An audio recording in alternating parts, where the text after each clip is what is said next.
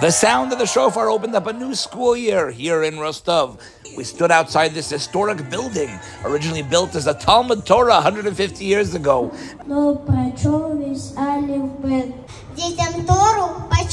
Today, the school bell sounded once again as we begin a new school year, and Jewish boys and girls once again have the opportunity to receive a Jewish education in this historic building.